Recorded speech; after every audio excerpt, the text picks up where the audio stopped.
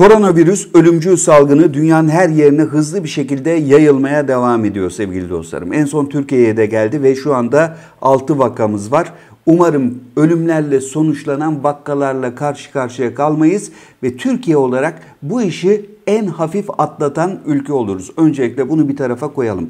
Çünkü sağlık meselesi ve hayat meselesi çok önemli. Türkiye şu anda bu işi en hafif atlatan ülke gibi görünüyor ama ilerleyen zamanlarda gerekli önlemlerin alınması çok önemli. Şimdiye kadar alınan önlemler işe yaradı.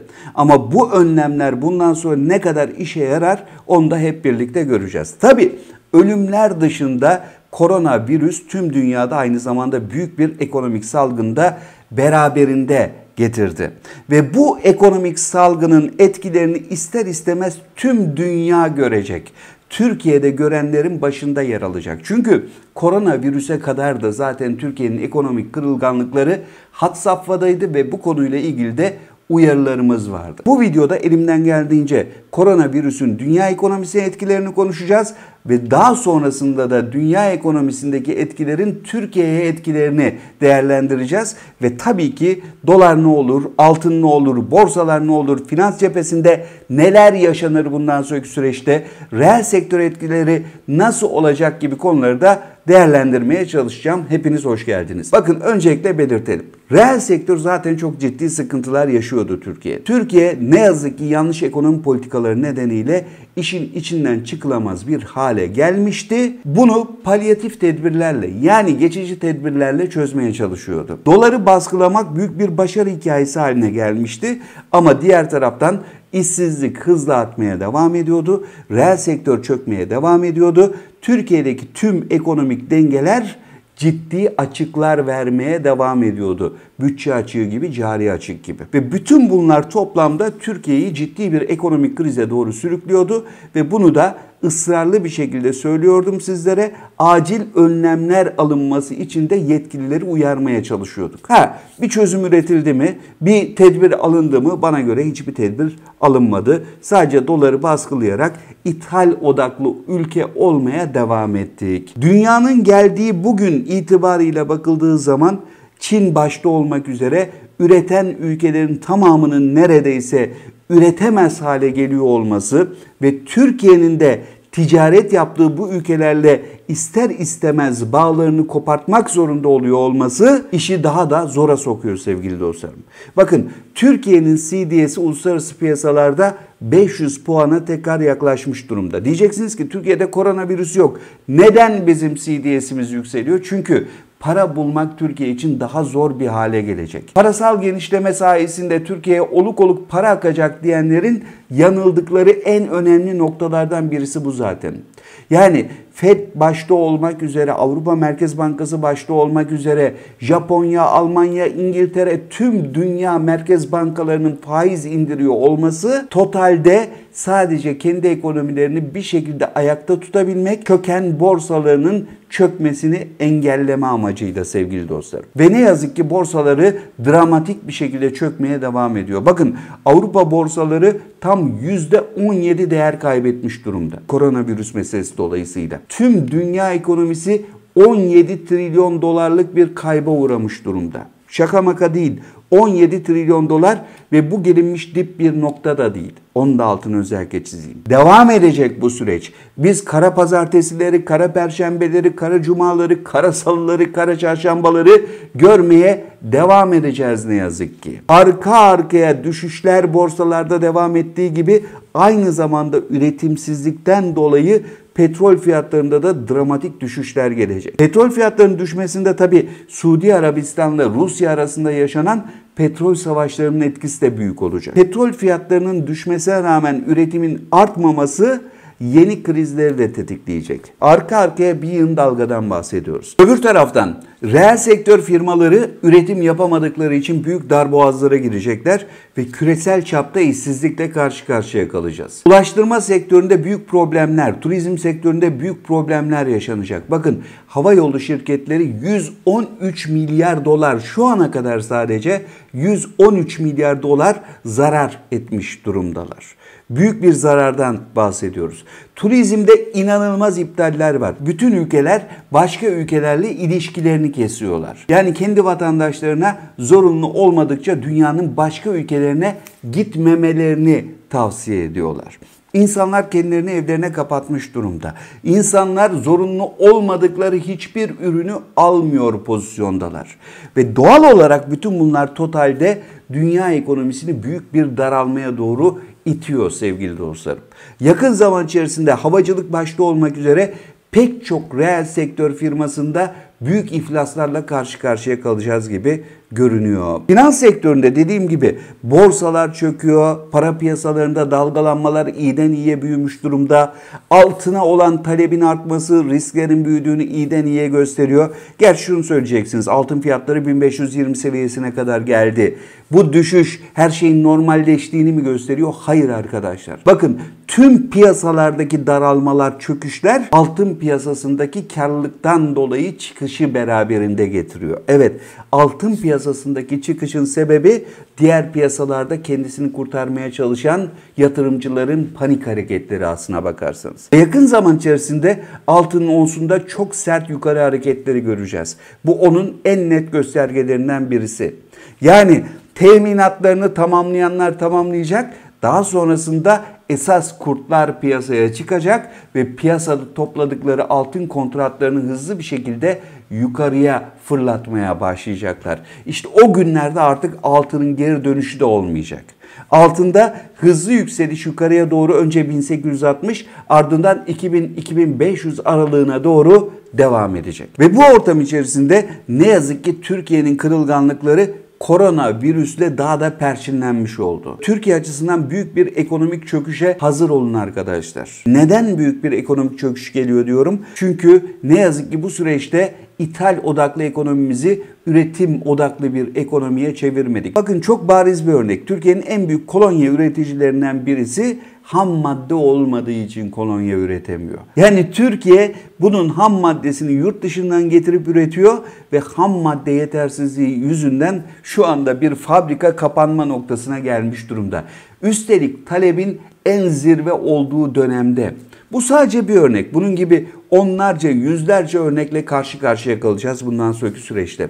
Yani reel sektör ham madde eksikliği yüzünden, aramalı eksikliği yüzünden de büyük bir problem yaşayacak ve bu daralma aynı zamanda ciddi bir işsizliği de beraberinde getirecek. Türkiye'nin bakın bütçe açığı gibi bir problemi var. Sadece Ocak ayında 21,5 milyar liralık açık verilmiş durumda. Sadece Ocak ayında. Üstelik Ocak ayında Merkez Bankası'nın karı alındı, ihtiyat akçesi alındı. Neredeyse 40.5 milyar liralık bir para Merkez Bankası'ndan bütçeye aktarıldı. Buna rağmen 21,5 milyar liralık bir açık var. Eğer ki o aktarmaları olmasaydı şu anda 60 milyarın üzerinde bir açıktan bahsediyorduk. Sadece Ocak ayında sevgili dostlar. Anlayacağınız Türkiye'nin bütçe açığı artıyor. Diğer taraftan dış ticaret açığımız da her geçen gün artmaya devam ediyor. Dış ticaret açığını geçen sene turizm gelirleriyle kapattık ve en azından cari fazla verdik diye seviniyorduk. Ama bugün tüm dünya ülkeleri birbirine mesafe koyduğu için turizm gelirleri de dip yapacak. Arka arkaya rezervasyon iptalleri söz konusu. Neredeyse %90'lara varan rezervasyon iptalleri var. Ve bu da Türkiye'nin turizm gelirlerinin dramatik bir şekilde düşeceğini gösteriyor. Türkiye'nin turizm gelirlerinin düşmesi de cari açığın patlaması anlamına geliyor sevgili dostlar. Yine Türkiye'nin önemli bir başka konusu dış borç meselesi. Kısa vadeli dış borcumuz zaten 150 milyarın üzerine çıktı da bir de total dış borcumuz var. Brüt borcumuz var. O da 434 milyar dolara gelmiş durumda. Hem kamu sektörünün hem de özel sektörünün dış borcundan bahsediyoruz. 434 milyar dolar ve bunun bir şekilde çevrilmesi gerekiyor. Ama çevrilirken de problem var. Çünkü hem dünya küçülüyor, dünyanın ciddi ekonomik problemleri var hem de para bulmak her geçen gün biraz daha zorlaşıyor. Diyeceksiniz ki dünyadaki tüm bankalar faizleri aşağıya indiriyor, bol para politikası izleyeceğiz diyor ve bunun sonrasında dünyada parasal bir bollaşma olacak. Biz de paraya daha rahat ulaşacağız. Öyle değil arkadaşlar. Eğer öyle olsaydı iş kolay olacaktı ama Türkiye'nin sıkıntılarıyla birlikte koronavirüsün olması Türkiye'nin para bulmasını da zorlaştırıyor. Bakın CDS'lerimiz 500 puana dayanmış durumda tekrar. Büyük ihtimalle CDS'lerimiz yükselmeye devam edecek. Çünkü Türkiye çok ciddi bir ekonomik kırılganlık yaşıyor. Aynı zamanda para bulması, borç bulması da her geçen gün zorlaşıyor. Borçluluk maliyetleri de artıyor. Ve bu da Türkiye ekonomisini köşeye sıkıştıran bir başka konu. Anlayacağınız Türkiye ekonomisi dünya ekonomisinden çok daha kırılgan bir hale gelmiş durumda. Ne üretebiliyoruz, ne satın alabiliyoruz, ne de borçlarımızı çevirebiliyoruz. Ne de turizm geliri elde edebiliyoruz. Bu arada bütçe açığımız her geçen gün artmaya devam ediyor. Cari açığımız her geçen gün artmaya devam ediyor. Peki bu hangi tabloyu beraberinde getirecek? Esas soru bu. Dolarda şok hareketlerine hazır olun arkadaşlar. Normal koşullar içerisinde zaten 6.80'e doğru giden bir dolar kuru var ki Merkez Bankası anketi de dolar hedefini yukarıya doğru çekmiş durumda. Yani piyasadaki uzmanlar da artık doların yükseleceğine ikna oldu. En azından itiraf etmeye başladılar. Diğer taraftan 6.80 dediğim gibi normal koşullar içerisinde doların yükseleceği değer. Anormal koşullar devreye girdiğinde yani Türkiye hem borcunu çevirmekte zorlanıp hem de cari açık tehlikesiyle karşı karşıya kaldığında bunun yanına enflasyonist baskı, işsizlik gibi diğer makroekonomik veriler eklendiğinde ve aynı zamanda koronavirüsün dünyadaki etkileri Türkiye'de de gözlemlenmeye başladığında hastalıktan bahsetmiyorum bakın. Ekonomik etkilerinin görülmesinden bahsediyorum. Evet biz hastalık meselesini hafif atlatabiliriz ama ekonomik dalgadan koronavirüsün ekonomik dalgasından en çok etkilenecek ülkelerden biri belki de başında gelen ülke Türkiye olacak ne yazık ki sevgili dostlarım. Ve Türkiye o etkileri de görmeye başladığında ciddi bir ekonomik tsunami ile karşı karşıya kalacağız. Bu ekonomik tsunami de doların çok sert bir şekilde yukarıya doğru gitmesini ve bir anda 8 liranın 9 liranın üzerine kendisine atmasını beraberinde getirecek. Gelelim altın meselesine. Altındaki 1520 dolara kanmayın arkadaşlar. 1520 doların hiçbir önemi yok. Tamamen panik hareketi ve teminat tamamlama hareketi. Yani diğer finansal enstrümanlardaki diğer para piyasalarındaki kayıpları altındaki satışlarla önlemeye çalışan bir kesim var. Ama onlar çıkışlarının büyük bir kısmını yaptı. Şimdi ise altın yatırımcıları devreye giriyor. Altın toplayanlar devreye giriyor.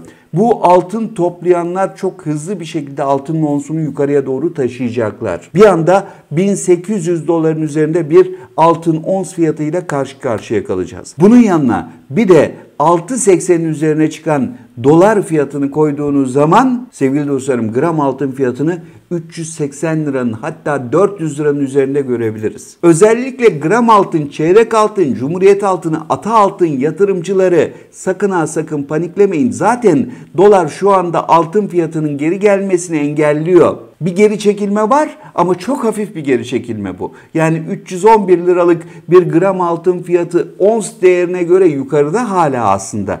Dolar etkisi sayesinde. O nedenle sakin ve sabırlı olun. Bu sene gram altın ve çeyrek altın yatırımcısı çok ciddi bir yükselişle karşı karşıya kalacak. Bunun altını özellikle çizmek istiyorum. Neden? Ons fiyatları çok sert yükselecek. Neden?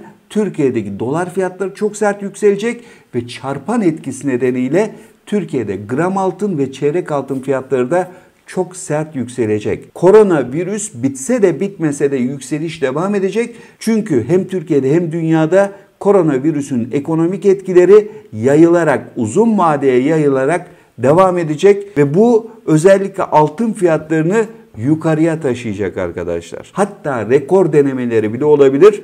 Yakın zaman içerisinde 2000-2500 dolar aralığında bir altın ons fiyatıyla karşı karşıya kalabiliriz. Evet bu videomda sonuna geldim. Yeni videoda tekrar görüşeceğiz. Hoşçakalın, mutlu kalın. Yorumlarınızı bekliyorum. Abone olmayı ihmal etmeyin. Bu arada eğer ki videoyu beğendiyseniz mutlaka dostlarınızla paylaşın.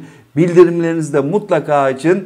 Katıl butonuna basarak bizlere destek veren tüm dostlarıma teşekkür ediyorum. Önümüzdeki hafta hem katıl üyelerimiz için hem de tüm abonelerimiz için canlı yayınlarımız da başlayacak. Onun da bilgisini vermiş olayım sizlere. Sevgiyle kalın, mutlu kalın, hoşça kalın dostlar.